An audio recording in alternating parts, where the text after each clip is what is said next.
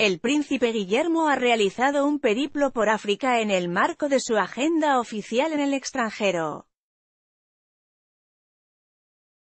Aunque en sus visitas suele estar acompañado de Kate Middleton, su desplazamiento a Kenia, Tanzania y Namibia fue en solitario, ya que no fue hasta el 2 de octubre cuando la duquesa de Cambridge retomó sus compromisos tras finalizar su baja por maternidad.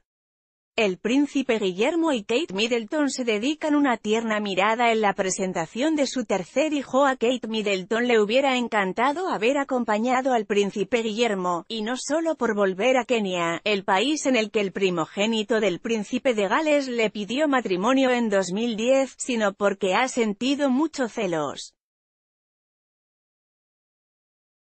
Envidia durante unos días esos celos han sido revelados por el propio príncipe Guillermo, que durante una recepción en Windhoek, capital de Namibia, comentó con mucho humor la envidia que le tenía su consorte por pasar unos días lejos de Kensington Palace. Estoy encantado de visitar Namibia por primera vez. Lamento que mi esposa, Catherine, no pueda acompañarme, ella está inmensamente celosa. Sobre todo porque estoy pasando buenas noches de sueño ininterrumpido lejos de mis maravillosos hijos, manifestó con mucho humor el duque de Cambridge.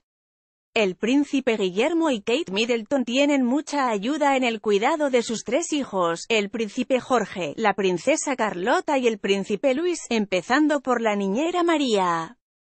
Teresa Turrión Borrallo, pero ambos están implicados en la educación de sus vástagos y pasan con ellos el mayor tiempo posible, con todo lo bueno y lo malo que implica.